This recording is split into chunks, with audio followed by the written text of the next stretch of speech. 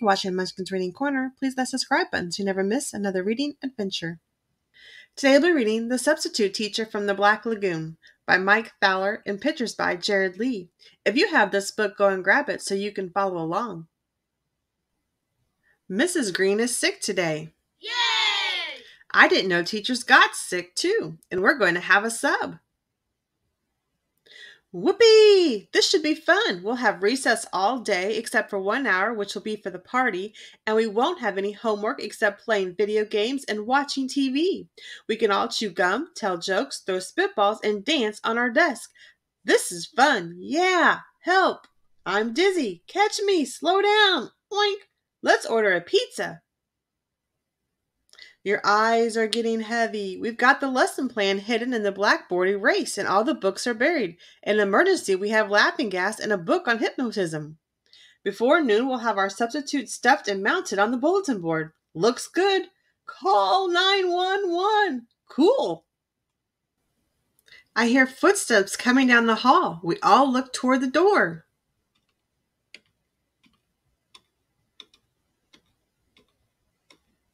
Suddenly, there's a crash. The door doesn't open.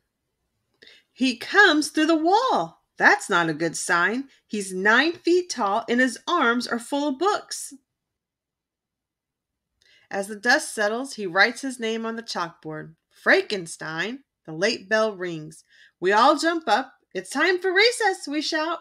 He turns around and growls. We all sit down. Grrr. Mr. Stein opens a math book. We never have math on Wednesday, shouts Derek. Let's try a little subtraction, grunts Mr. Stein, picking him up. I guess that's a joke. Subtraction. If there are 15 students and one disappears, how many are left? Derek counts on his fingers. Fourteen, he stutters. Good, says Mr. Stein, letting him down. It's lunchtime, shouts Randy, setting the clock hands to noon. Mr. Stein comes over, lifts him up, and asks, How would you like to go to the moon? Not before noon, says Randy. Oh, I thought you said launch time, said Mr. Stein, grinning. I like a teacher with a sense of humor. Blast off. Well, says Mr. Stein, let's try some geography. What state are we in now? A state of anxiety, stutters Randy. Mr. Stein smiles. In what state can you wear? he asks. Dakota, says Eric. What about Pennsylvania? asked Mr. Stein with a smile. Say, why don't we make a state riddle book? What state has the most pigs? asked Penny. Pennsylvania, shouts out Eric. What about Oregon? answers Mr. Stein, laughing. I raise my hand. What state did Noah live in? I ask. I give up, says Mr. Stein. Ark, Arkansas, and I smile.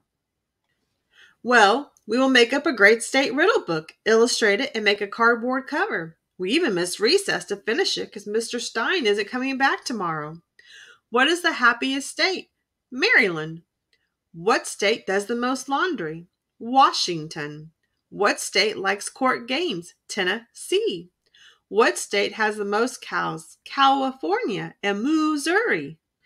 What state serves the worst breakfast? Michigan. What state is this very small dessert? Minnesota. Knock, knock, who's there? Delaware. Delaware who? Delaware peak underwear. Knock, knock, who's there? Tennessee. Tennessee who? Tennessee you tonight. Knock, knock, who's there? Alaska. Alaska who? Alaska, you one more riddle. Knock, knock, who's there? Utah. Utah who? You taught me everything I know about riddle making. Thank you, Mr. Stein.